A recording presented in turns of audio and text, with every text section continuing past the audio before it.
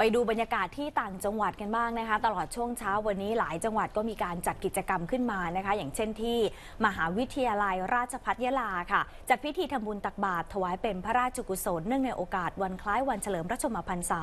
พระบาทสมเด็จพระปรมินทรมหาภูมิพลอดุลยเดชบรมนาถบพิตร 5 ธันวาคม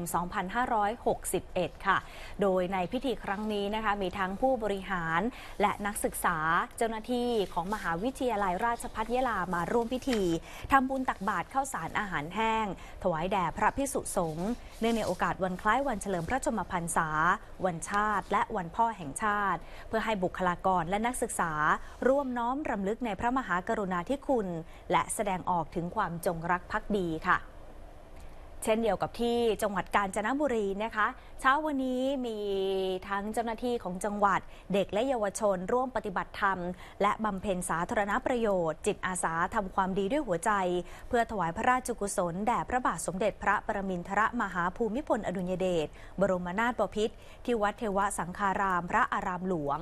ในกิจกรรมก็ประกอบด้วยการเจริญจิตตภาวนา การแสดงพระธรรมเทศนาในหัวข้อ